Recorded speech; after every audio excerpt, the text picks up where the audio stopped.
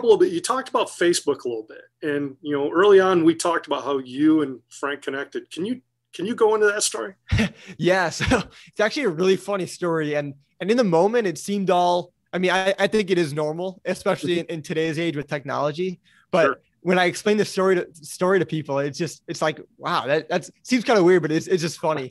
So basically, what happened was, I so about a year and a half, maybe two years ago, I started getting interested in real estate. So I was reading the books, listening to the podcasts, networking, and all that.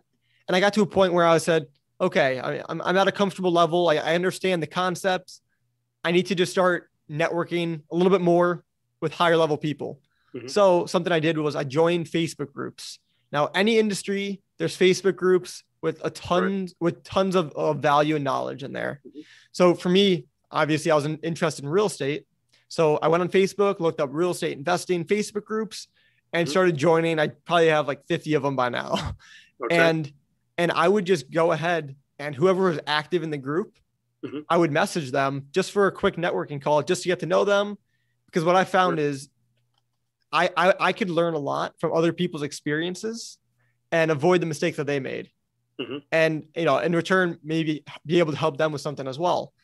So what I did was I was in a Facebook group. and I saw this guy, Frank. He was commenting, he was active. You could tell he was pretty serious in the group at least, right? So he had something to him and you know i connected with him we we went back and forth on facebook messenger hopped on a phone call and that was that was that we you know we got to know each other but obviously we didn't just say okay let's start a business together that was six months down the line so in, in the short term where it went was we both ended up joining a mastermind group okay. and basically what that is and i believe they have them for any in- industry yes they do yeah so the the basic concept, just for the listeners that aren't sure. aware, mm-hmm. it's the way, at least the way I think of it, it's a group of like-minded individuals all reaching towards a, the same or similar goal, mm-hmm. and it's a group to basically help each other out. Yep. So, so in the real estate investing world, you know, there's tons of them as well, and and by by helping each other out, that could be partnering, that could be you know investing, so many different ways to to help somebody out and get mutual benefit, of course. Sure. So so Frank and I actually joined the same mastermind group. Okay. And um basically we we've been in the group for I guess over a year now, almost.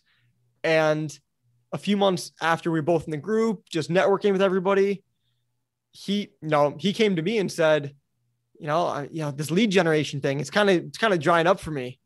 So that's how we actually were able to put our heads together mm-hmm. and and and form form the property dogs, get the investment side going, because sure. you know we were able to kind of add value to each other and and use our strengths and weaknesses to complement each other, and that's kind of how property dogs started. Isn't that amazing the power of networking and in, in, yeah. in today's day and age? Like, I mean, meeting on Facebook, like you know, a couple years ago, people would be like, "What are you talking about?" But in, in today's COVID world, right? it's legitimate. You can meet somebody, you can network with them like you did. And as long as you're networking in earnest and trying to build that relationship, right. it's pretty amazing what can come out of that.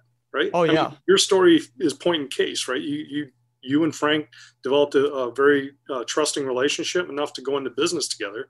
And that's pretty remarkable. I, I always enjoy hearing about connection stories like that, that are, that work out. In yeah. Yeah. It's, it's super cool. And, and I've had honestly a ton more just from social media. Actually, the, the way I found the mastermind group was mm-hmm. a very similar way. Right. Reaching out to people, someone recommended it. I got linked up with that. I've had people, I've had also investors as well. People I just meet through social media.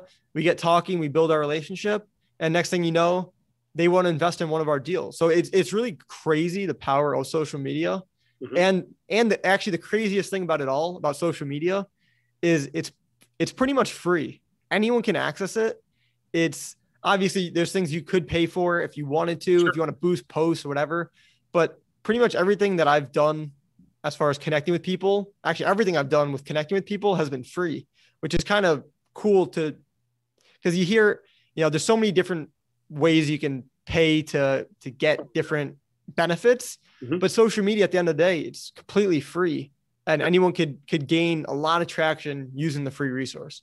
Well, Just some time. The other thing you hit on was the mastermind groups. So you know, I, have experienced a couple different mastermind groups. Uh, they're typically very vertical centered, right? So manufacturing might be one, auto dealers is another.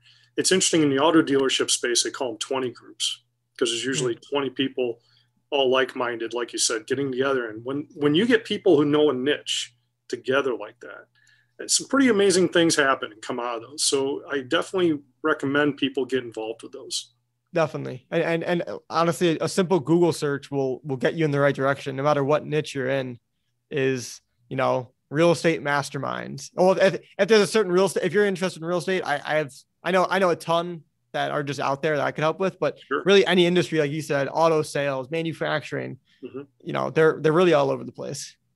Take advantage of them. Absolutely. Yeah. So, if you want to recommend somebody to appear on the podcast as a guest, please email us at info at opsqc.com. If you're interested in sponsoring a podcast, please reach out to us at the same email. We'd love to have your support.